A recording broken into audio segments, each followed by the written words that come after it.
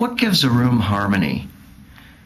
What makes a bedroom peaceful and relaxing? Well, there are a few elements of harmony and relaxation in this bedroom in a New York apartment. First, notice the softness to the edges and the richness of the materials. You'll see the clean, crisp bed linens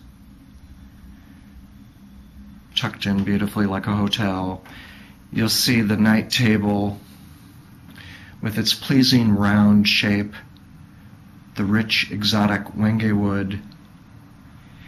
You'll see the rounded headboard. It's actually a woven material. It's like a leather weaving. And again, it provides lovely elements and details which contrasts nicely with the with the beautiful linens. Above the bed, there is harmony represented in the image,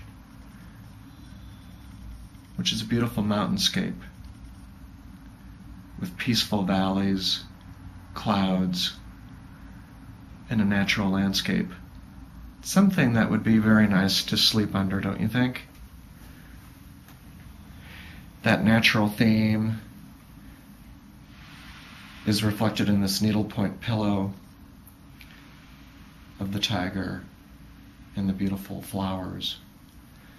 So everything forms a harmonious composition, and that creates a peaceful, tranquil, luxurious setting for, for sleeping. Now, notice also that the ceiling is illuminated by a, a beautiful fixture. Circular in nature, and according to the rules of feng shui, the chi or energy will come into the room of the or the uh, the door of the bedroom and will come in and will circulate around the light fixture and spread energy evenly throughout the room. And notice the placement of the bed so that it's actually facing the energy as it comes into the room. It's not broadsided by it, but it's actually in kind of a dominant pattern or relation to it. A couple of other elements create harmony and peace in this room. You note that there are beams on the ceiling. The home, the apartment dweller could not help the you know the architectural elements of this of this room. But you'll notice there's a crystal that was hung, and this is a cure,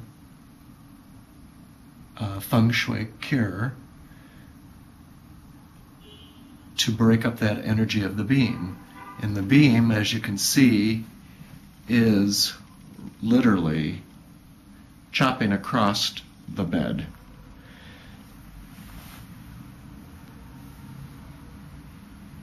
So by providing this care, the apartment dwellers actually said that where they once had trouble sleeping and uh, capturing a good night's sleep and having peaceful, restful dreams, the cure really helped them quite a bit.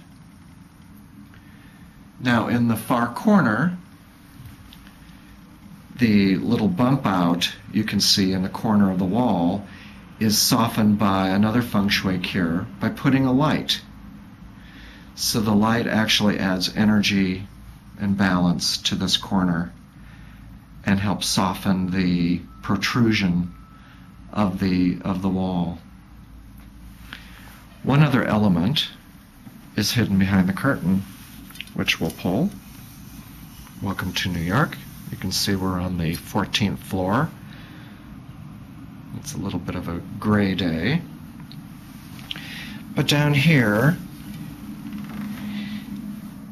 you'll see on the stereo speakers a little feng shui shrine. It's a little Asian shrine. You see a little jade cup with water.